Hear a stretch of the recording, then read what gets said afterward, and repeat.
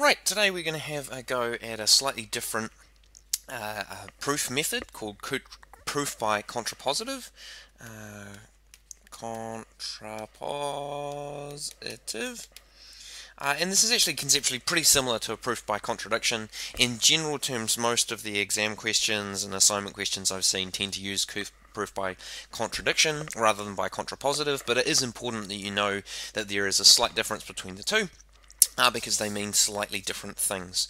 However, if you're looking for um, topics to study for your exam, uh, I would much more recommend revising induction and contradiction proofs rather than contrapositives. That said, here's your proof by contrapositive. I don't know why I keep saying coof. Anyway, so the proof by contrapositive, it's based on this idea. So if you have two statements, if you have a statement A implies B, so if a implies B, then your contrapositive of that is that not, sorry, not B implies not A.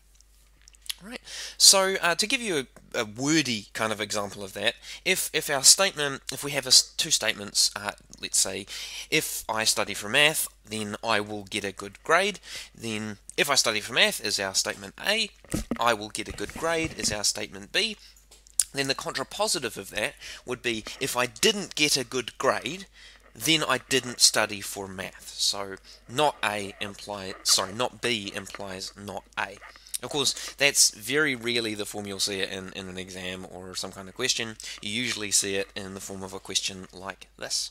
So if xy is odd,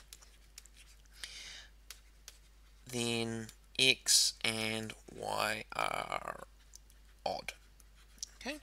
So if we want to prove this by contrapositive, then we can start out by separating our statements. So this bit here is A, and x and y are odd is B. So to do a proof by contraposition, we have to start off with not B. In that case, not B is going to be x and y are even even.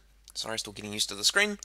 And what we need to do from there is show that not A is true, so that A is even. Is even. And hopefully you can see this is going to be a reasonably simple proof. So if x is even, then we can write it as a multiple of 2m. If m is some non-negative integer, exactly the same for y. It's just the definition of a positive number. So therefore, Therefore, x times y is 2m times 2n, which is 2 bracket 2m n. Right, and therefore, because m and n, because uh, there's a factor of 2 in our product, therefore xy must be even. Right, and that's the end of our proof. So let's just say, therefore xy is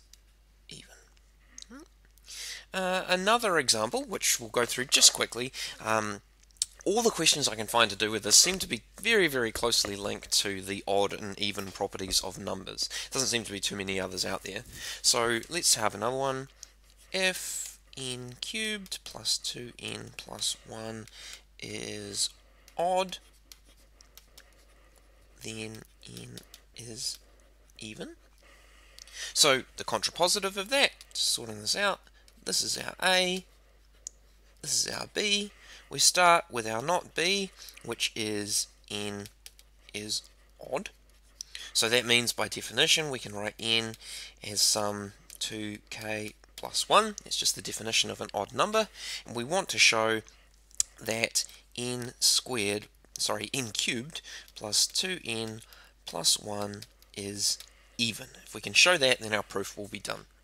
So let's start off by a direct substitution. So we can go 2k plus 1 cubed plus 2 times 2k plus 1, which is 4k plus 2 plus 1. We need to show that that is all even. And um, I've already expanded the 2k square, so 2k plus 1 all cubed. So I'm just going to put that in quickly. That gives me 8k cubed plus 12 sorry. Yep, plus 12k squared uh, plus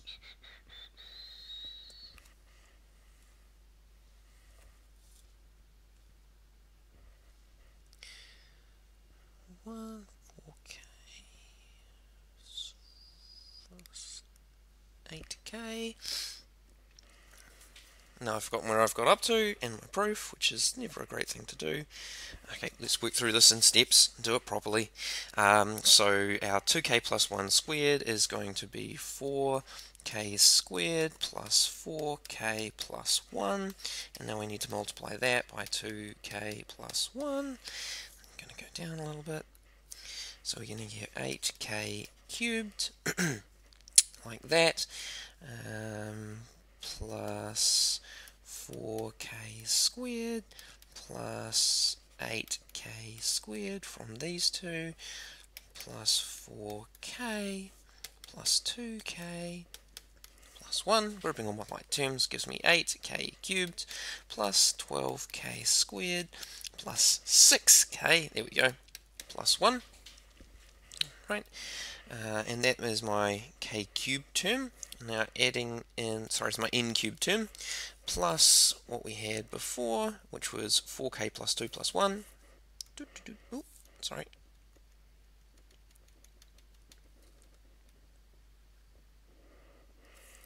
Plus 4k plus 2 plus 1. Whew, there's a giant term. So we're just looking to show that this is even and we can do that really easily just by seeing that there's a common factor of 2 in all of these apart from these 2 plus 1 terms. I can add them together. I can rewrite this as 2 bracket 4k cubed plus 6k squared plus 5k which is those two divided by 2 plus 4 divided by 2 plus 2. So because I've got a common factor of 2 in all of these, therefore this is even, and that is the end of my proof.